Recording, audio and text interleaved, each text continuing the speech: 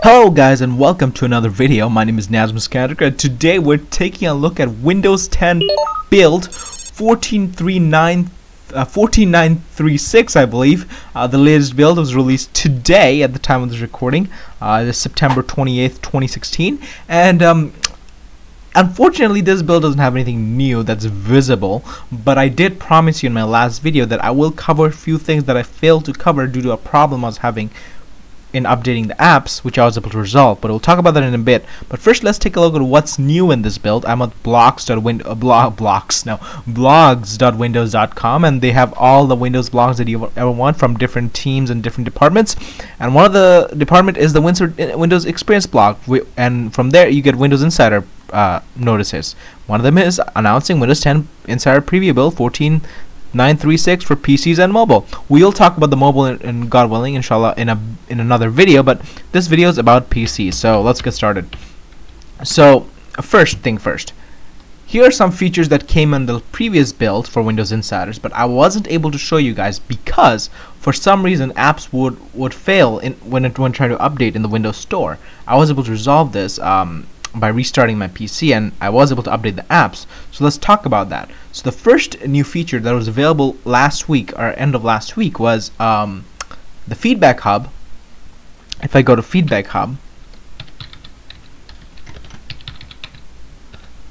Feedback Hub right there, um, you'll notice that it's dark uh, uh, until now, I think for more than a year and a half since Windows 10, actually more, almost two years, almost two years um, uh, since Windows 10 was available, the feedback app was, um, I think, in, uh, all is white. Uh, it didn't match your system color scheme. So I think November of 2014 was when Microsoft released the Windows Insider Hub, whatever. Um, and I think the feedback app was released near the same time as well. And since then, the app was always white, it was light. Um, so, and when Microsoft released the dark mode in Windows 10 for PCs and Windows 10 for phones even earlier, um, it did not it did not respect your system color choice. But now with that update, it does. Now you could see the app is dark, and I could go. There's also a new settings icon uh, that is new with this update as well. Before that, there was no way to configuring your app settings. There was your user profile settings, you could see your profile and stats, but um, I think you would sign in and out as well. Maybe not, I don't know. But uh, this settings is new, and this shows, uh, this gives you an option to go back to how it was, light theme, so you could see how it was before. This is how it was. You're, we're stuck with this bright theme, which is a pain in the phone when you when you're using it at night. Everything's dark, and you open up the feedback, and it's really bright in your eyes. So but yeah, this has changed now. You could always have it dark or you could match your system theme, which is the default option. I prefer that. That's how it is in Groove Music and movies and TVs. I, uh, that's how it is in most apps in Windows 10 Mobile. But unf unfortunately, uh, Microsoft Edge on Windows 10 for PCs unfortunately does not respect your system theme. It's always light by default. I wish it did respect your system theme. I really, really do. Uh, but now there you go. This app does. Um, a lot of people have been asking Microsoft does give a choice on, on per app basis about light and dark theme and I think Microsoft's doing a good job with Edge um, on the PC at least Groove Music, Movies and TVs, um, Windows Feedback so I think they should do it on more apps like Calculator and uh, I think they'll do it on Mail and Calendar too but anyway so let's the next update that I was I didn't get to show you is the Mail app so oh, not Mail Maps this app also uh, let's go. This app also brings you a dark theme. Uh, it's more noticeable noticeable on the phone where the app bar is on the bottom but if I scale this app I can't do that. But if I was able in the past but yeah if I I was able to scale the app and get the phone UI but if it was small enough I would be able to show you the phone UI but anyway I could show it on my Windows Phone video but uh, again it's a dark theme. It used to be light. And again if I go to settings here um, map theme light and dark. Oh there's a map theme. That's for the actual map itself. But app colors um, you have the light dark and system color so light again you have to restart the app. This is uh, how the um, maps app look like for a long time. This because it was a bright theme and very bright. Again I'll switch back to my system theme I prefer apps respecting that I really do. And there's all they also have and you can see a dark theme they also have a map color. This was there for a long time. This useful you're walking navigating at night you need a darker colored map. I think on the phone it uses the um, the time of your day to determine whether to give you a dark map or light map but yeah.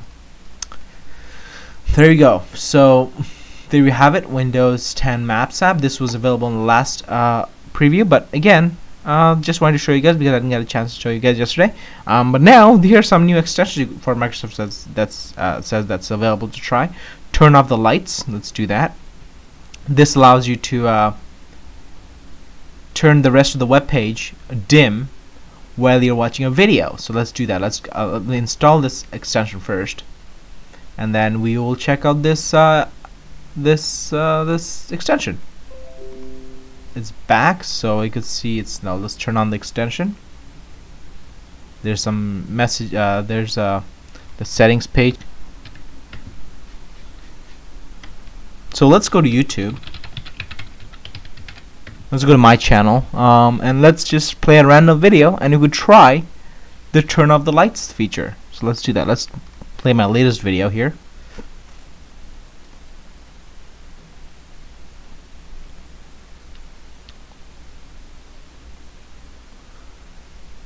hope it loads at least. Microsoft Edge has really perfor huge performance problems. But uh, again, I'm going to use the turn off the lights feature. And nothing happens. So, uh, guys, oh, it worked. It worked. Okay, okay. So it just took a time, but you could see everything but the video is bright, which is useful if you're in, in this view, right? It's very useful, very nice. I mean, I never used this in Chrome. I had I had this extension installed in Chrome for a while, but um, haven't had this for a while. Oh, it's a different kind of dim now, which is interesting. It was dimmer before, right? So, so yeah. Anyway, there's your turn off the light extension. Fun doing it over and over again, right? Uh, it's weird, but yeah. There you go. Turn off the lights. Okay, so let's talk about something else that's new. Um, Microsoft says authentic authentication authentication changes affecting connectivity to NAS devices, home file. Basically, if you're running a server and you have files in your network, you're gonna have issues uh, looking, viewing your files unless you have your PC's uh, set network set to private or enterprise. So, uh, by, by default, your P Windows 10 sets your wireless network to be public to for security, but you have to manually change it to private or enterprise. So for this to work, it's a bug in this build, but yeah, or maybe it's not a bug. I don't know. Uh, maybe it's a feature. We'll, we'll, know. Windows subsystem for Linux, Linux changes. This is important. Uh, we had had a video video on how to enable Bash, and if you if you are using Bash in a future update, at Microsoft didn't say when. It says in a coming build. Um, Microsoft will upgrade the inst Ubuntu, Ubuntu installation that comes with the Bash feature in Windows 10 to the latest Win Ubuntu long-term uh, long-term LTS long-term support release. So the latest Ubuntu LTS release is um, uh, 16.04 but Windows 10 is still running the previous LTS support release is 14.1410 or 14.04 uh, trusty they call it. The new uh, Ubuntu LTS release is 16.04 Xenial and um, Microsoft will be including that that version of Ubuntu in the future installs. However if you if you already have bash installed you're not going to be forced to upgrade because unlike Windows, Linux are completely manual. So you're not forced to do anything. So the Ubuntu installation you have currently will stay unless you actually run an update command, which uh, uh, uh, existing inst existing instance of Trusty will not be updated automatically. Your user can update the Trusty image of Xenial by do the by using the do dot do dash release dash upgrade command. Full WSL release notes can be found here. But yeah, but if you want to check which version of Ubuntu um, installation you have currently, just do on your bash uh, prompt, just do this. When you see the dollar sign uh, prompt, just type in lsb underscore release space dash a. This will give you the Ubuntu version. In this example, we have 14.04, the one that's currently included in Windows 10, the trusty version, LTS uh, C Trusty. So if you have this version, you'll need to manually update it. If you haven't installed Bash yet and you install later and Microsoft updates their backend images, uh, then you'll get the latest versions. And you, I don't think you could do anything about that by back then. Once you once you have the update, I don't think you can downgrade because um, the image of Ubuntu comes from the Windows Store, and you always get the latest version when you download it. So there's that. So other improvements and fixes, we fixed an issue causing narrator to continue to speak the progress of a song. So uh, one of the problem with the previous build is uh, the narrator would, would say the timestamp of a song, so you couldn't hear the song. Uh, issue where the tab key would for the, to navigate the settings wouldn't work. That's fixed. Uh, Explorer.exe frequently crashing. I had that issue a while. I hope that's fixed. So they say it's fixed. I'll, I'll see if it's fixed or not. Now, known issues for PCs. This this has been an issue for several builds already. Optional comp components may not work. So if it doesn't work, all you have to do is turn it off and turn it back on again. So there you go. Um, actually, no, I don't have to turn it off. I think it automatically gets turned off. So you just have to turn it on. I might have to restart your apps after that. Tencent apps in game. This is also an issue that was uh, uh, plaguing previous builds as well. Tencent apps and games will cause PC to blue screen. Uh, running S SFC slash scan now is an, in an elevated command prompt will fail at 20%. Um, and with an arrow, the error that's arrow error that says could not perform the requested operations. Other improvements and fixes for mobile. We're talking, we'll talk about that in my mobile video.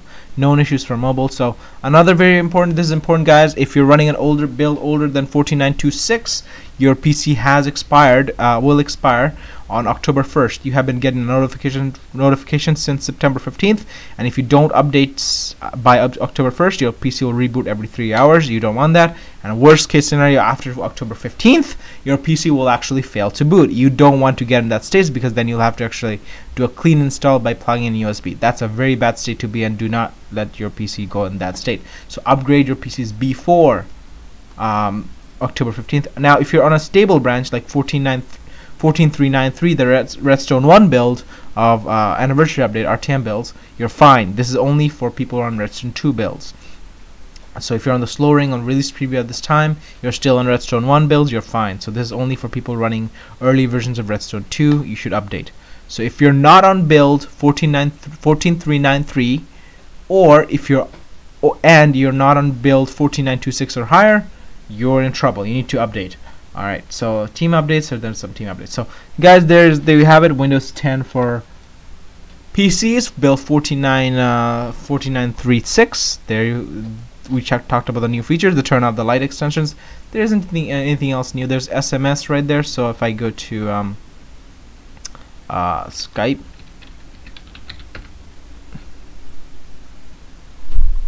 I should see my SMSs yeah. So there you go. Uh, I have a missed call notification. This this this uh, this shows um, uh, missed call notifications that I might get. So uh, SMSs you can see SMS but yeah. Anyway uh, that's uh um, but that's this build. So if I have if you guys any questions or comments please let me know below. I'll definitely like to answer them. So yeah thank you for watching guys. Have a good one. Bye bye